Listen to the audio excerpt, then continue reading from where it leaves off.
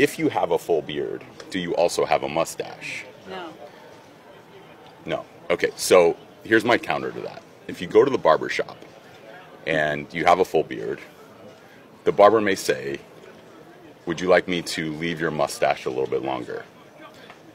Doesn't that mean that you have a mustache? No. We have a lot of players who who wear full beards. In my opinion, they are participating in Mustache May.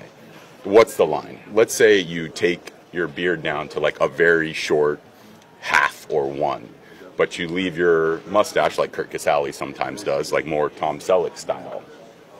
Is that then a mustache?